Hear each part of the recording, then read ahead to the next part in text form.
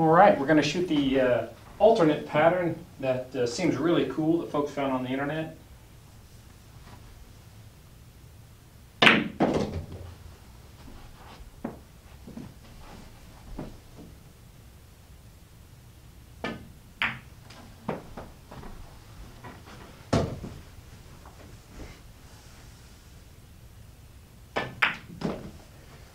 And this is where you would get messed up. You come in flat on the seven, you gotta make sure you bounce off the rail.